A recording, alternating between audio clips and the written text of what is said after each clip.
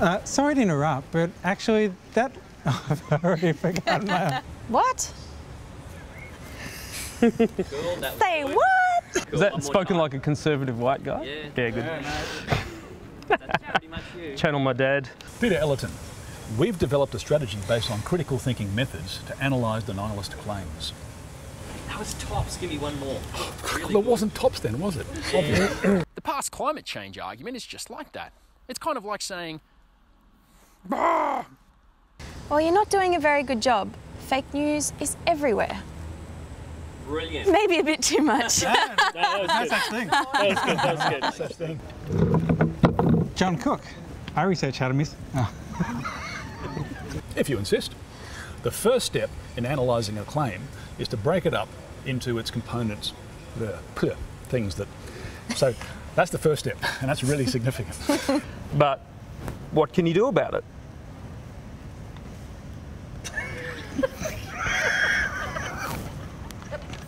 I have that napkin. I'm going to sell that on eBay.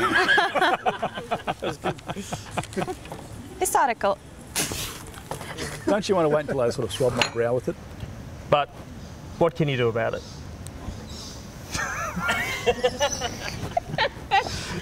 You were great.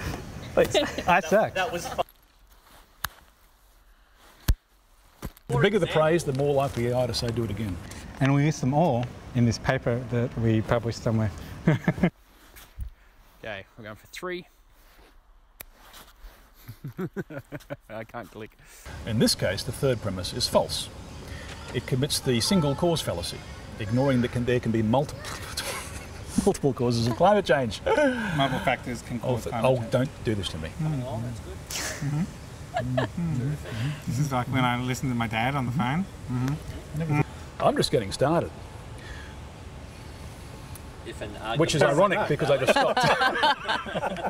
We've been This, this is not the misinformation you That's right. maybe a few different versions of the dabbing. Maybe like a sort of a yeah, that kind of dabbing. uh, bloody millennials. We're done. We're done. We're done. We're done. We're done. We're done. It's like a breakup. Fine.